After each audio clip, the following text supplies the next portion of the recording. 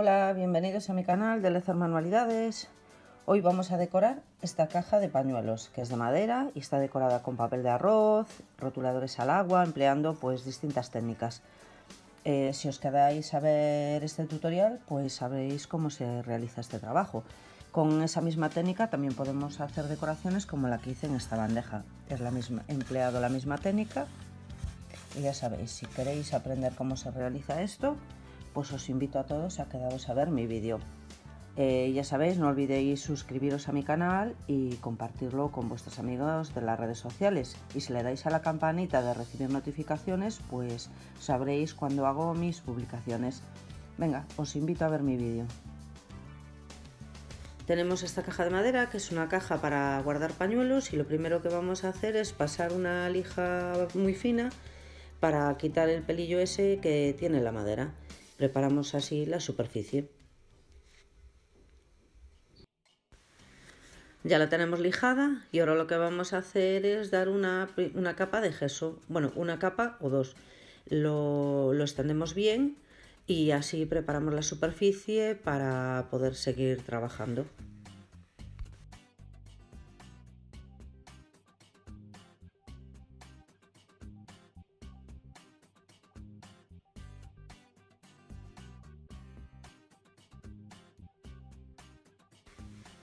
Bueno, ya dimos dos capas de gesso y ahora lo que vamos a hacer es pasar otra vez la lija, así finita, para suavizar un poco la superficie ya que queda un poco áspera y poder seguir trabajando.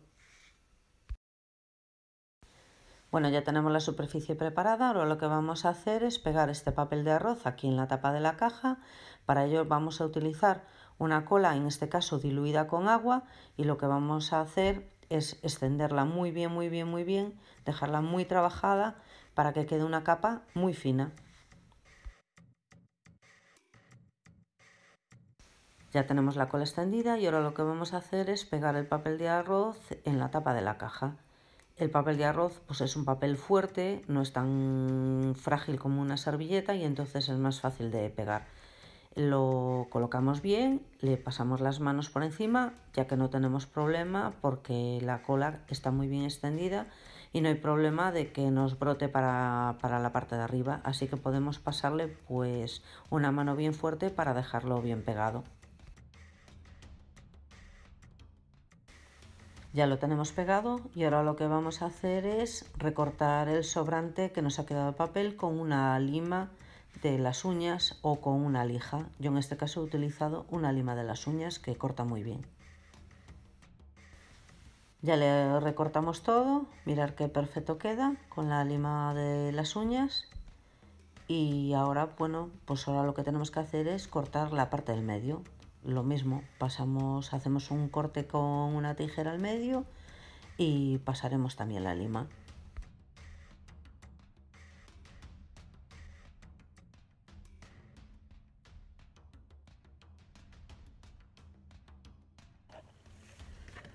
Bueno, ya la tenemos toda recortada y ahora lo que vamos a hacer es protegerle el papel y vamos a eh, echar eh, un poco de, barniz o de pegamento, lo que quieras. Yo en este caso lo que estoy echando es un poco de musgos.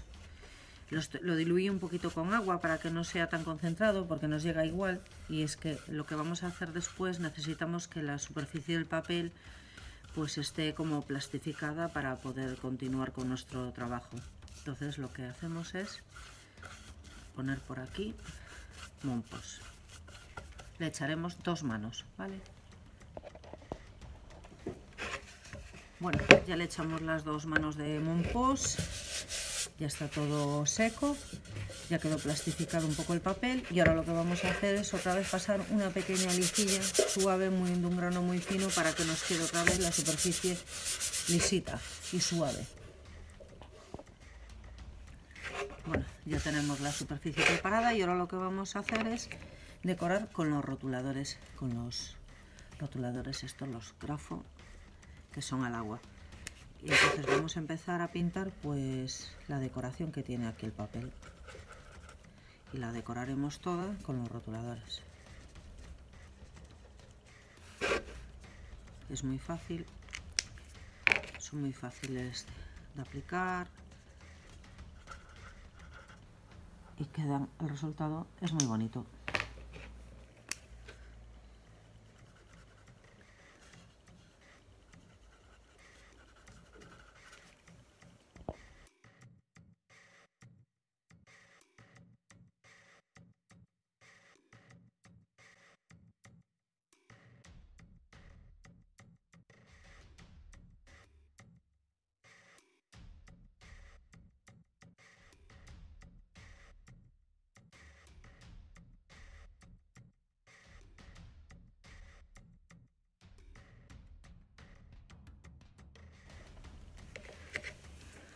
Bueno, como podéis ver, lo que estamos haciendo es, por ejemplo, mancháis un poco con el rotulador.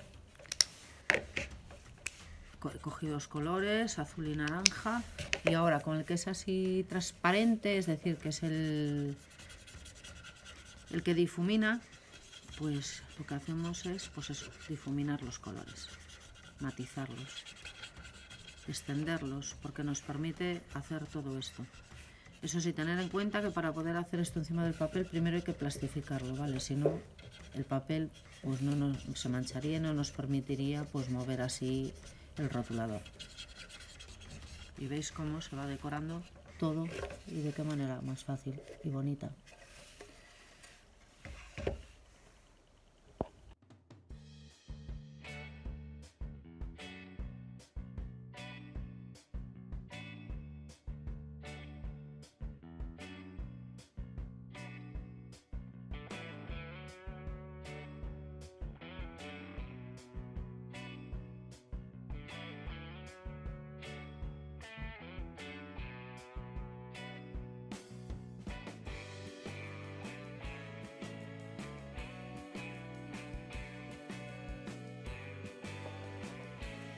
Bueno, ya la tenemos toda decorada con los rotuladores al agua. Que sabéis, he utilizado los Grafo, que es un rotulador al agua que funciona muy, pero que muy bien.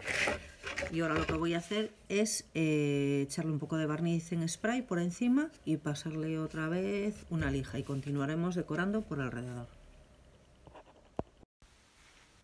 Bueno, ahora lo que vamos a hacer es pintar esta parte de la caja yo para ello, para eso escogí este color azul turquesa de, la marca AD eh, y lo que voy a hacer es mezclarlo con un poco de agua para hacer como un efecto tinte. Entonces ahora cubrimos todo con la pintura azul, la extendemos bien y le pasaremos un trapo como si fuera un tinte.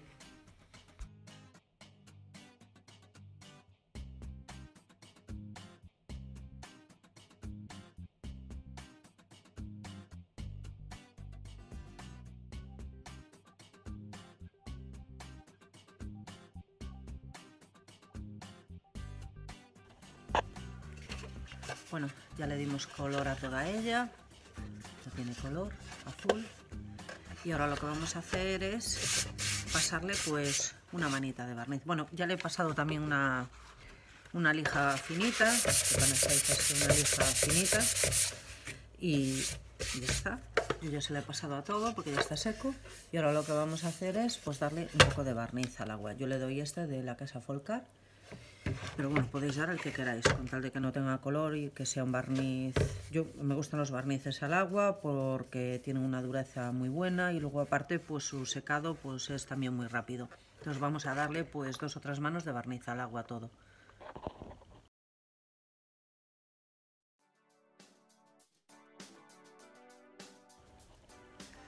Bueno, ya la tenemos toda barnizada, mirad qué brillito tiene. Le dimos tres manos de barniz y ahora lo que vamos a hacer es eh, pasar otra vez una pequeña lija. Ya sabéis que la madera, cuanta más lija, más bonita queda. Entonces ahora volvemos a dar así una pequeña lija de estos granos finitos y, cuando la tengamos lijada vamos a envejecerla un poquito. Vamos a lijarla toda. Bueno, ya la lijamos y ahora lo que vamos a hacer es envejecerla un poquito. Yo utilizo también este producto que es de la casa Folcar, que eso es un envejecedor, es al agua y lo que vamos a hacer es darle un tonillo más oscuro. Para ello también lo mezclo un poco con el blending, con los retardadores, ¿vale?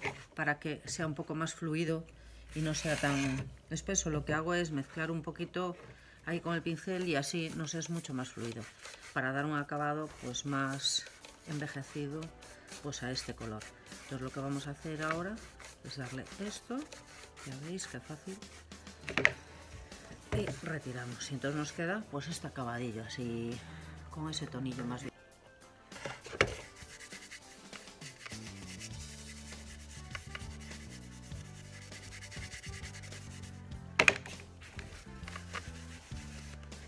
Veis que tonillo coge pues ya estaría.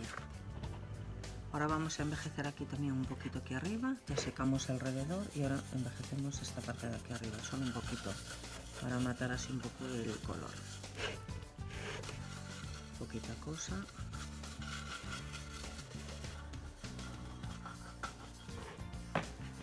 Limpiamos un poquillo. Secamos. Bueno, ya tenemos todo envejecido, todo seco y ahora lo que vamos a hacer es poner con una plantilla, yo he cogido esta que tiene una pluma porque me gusta y vamos a ponerla aquí, yo la fijo así un poquito con el celo para que no se me mueva porque en este caso lo que vamos a hacer es echar una, una pasta con volumen, yo utilizo las pastas estas de contorno y lo que, los contornos en este caso es un dorado y voy a echar un dorado y un negro. Lo voy a dar aquí para que quede con el dibujo con un poquito de volumen. He hecho el dorado y le voy a añadir un poquito de negro así para que diga un poquito más más viejo.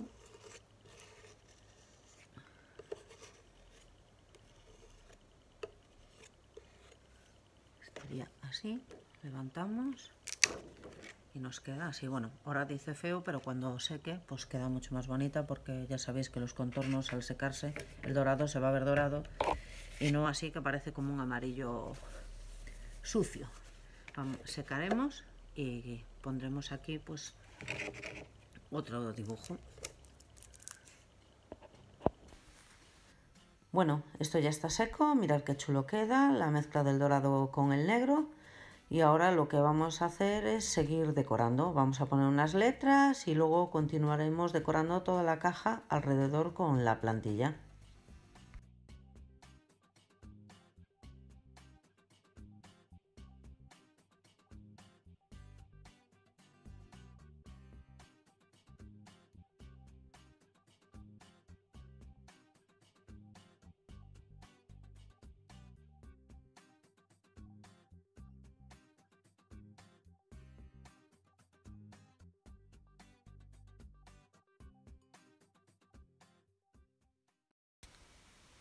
Pues nada, ya terminamos de poner el dibujo de la plantilla.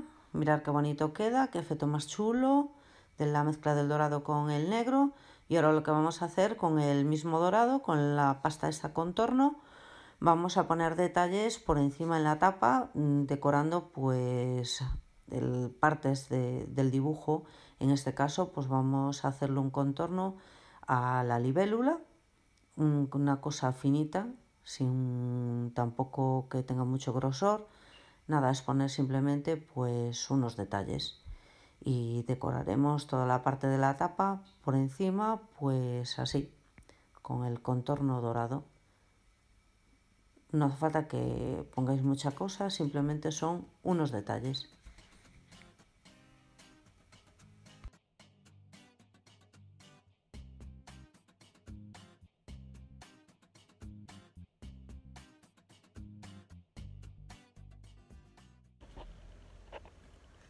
Pues nada, ya tenemos rematada nuestra caja de pañuelos. Mirad qué bonita, con contornos, con pintura, con papel de arroz, con rotuladores al agua. Es muy fácil de realizar y bueno, pues mira qué chula queda. No sé si aprecian ahí todos los detalles que le he puesto ahora con el contorno dorado. Pero mirad qué bonita queda. Pues ya sabéis. Si os ha gustado mi trabajo, darle a like y no olvidéis suscribiros a mi canal y compartirlo con vuestros amigos de las redes sociales. Ahora solo nos queda rellenarlo de pañuelos. Espero que os guste. Hasta la próxima, darle al like.